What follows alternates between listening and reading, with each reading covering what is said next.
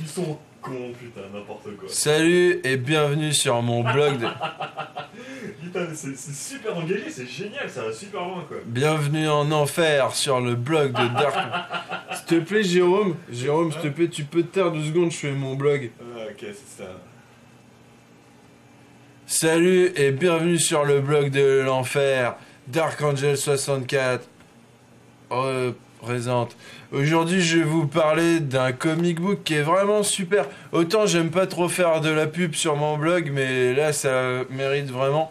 C'est Credulman, c'est un super héros comme vous pouvez le spécifier ici. Il s'appelle Credulman et son super pouvoir c'est d'être crédule.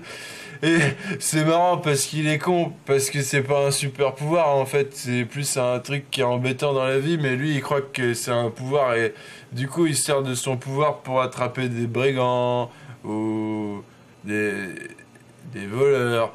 C'est vraiment drôle. Moi je trouve c'est marrant par exemple d'être crédule, euh, ils sont cons quoi, on peut pas être... Il y en a, Régis par exemple, euh, Régis Régis. Ouais. Vous allez voir, euh, Régis, il pourrait être crédule boy, quoi.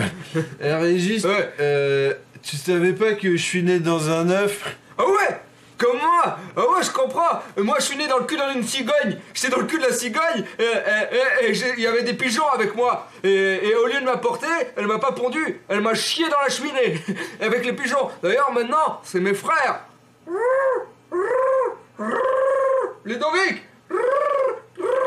Girard Venez chercher votre goûter T'as de la mie de pain T'as de la mie de pain Euh, ouais. Ah ouais, mon frère, il kiffe. Une fois, je l'ai enculé.